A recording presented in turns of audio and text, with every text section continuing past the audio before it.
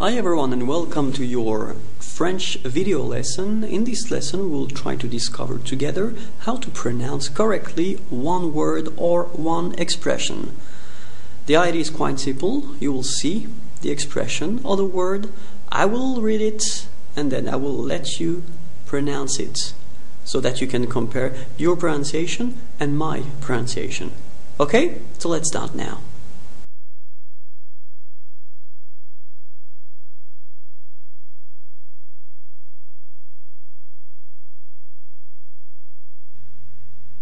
Membre de la famille.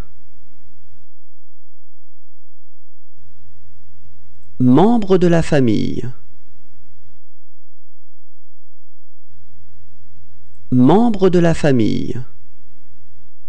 So if you want to practice your pronunciation, remember that I've been doing a thousand of videos like this one, so feel free to find them on YouTube.